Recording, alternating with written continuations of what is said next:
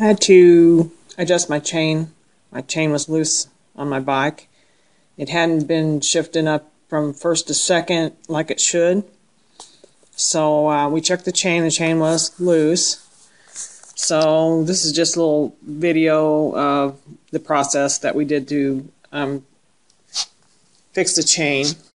Right there is a little thing that shows you when you adjust it how far you can go out with before you have to get a new chain. We loosened that on both sides. Loosen that nut. We had to look and uh, check the uh, spacing here on both sides.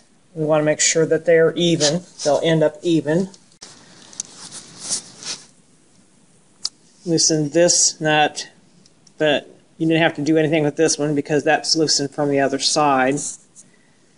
Loosen this up a little bit because that goes to the brake pedal lever.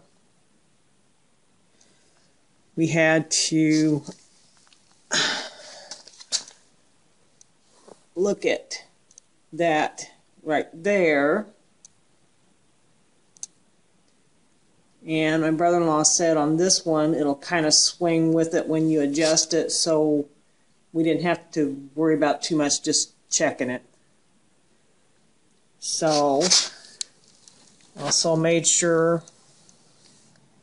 that this bolt here, this area right here, spacing matches on both sides as close as we can get it. Uh, once we check the chain from up under here at about this this is the midway point between the sprockets about right in here so that's where we want to check the the um, looseness of the chain. So we adjusted the back sprocket out to where that was within the tolerance uh, listed in the manufacturer's or the the guide, the manual. Then we tightened these back down.